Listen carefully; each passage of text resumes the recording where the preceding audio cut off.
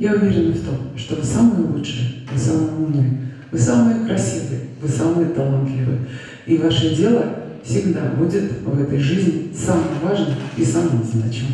Слова адресованы всем участникам муниципального этапа конкурса «Учитель года». Один за другим педагоги выходят на импровизированную сцену, ведь подводятся итоги этого этапа. Всего в нем продемонстрировали свое мастерство 15 учителей, в том числе и сельских школ. Сейчас озвучиваются имена победителей, лауреатов и призеров конкурса.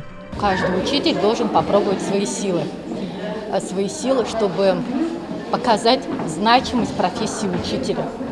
Что учитель – это действительно творец детских душ. Татьяна Толстова преподает историю и обществознание в первом лицее уже 10 лет. При поддержке своих коллег стала участницей испытания. Позади, как и у всех конкурсантов, открытые занятия с детьми на базе первой гимназии и мастер-класс, в котором она успешно продемонстрировала свой профессионализм. Мастер-класс э, тоже такое интересное испытание, потому что здесь учитель раскрывает себя уже немножко с другой стороны, как он умеет работать со взрослыми, как он работает со своими коллегами, с учителями, как он может построить методическую работу.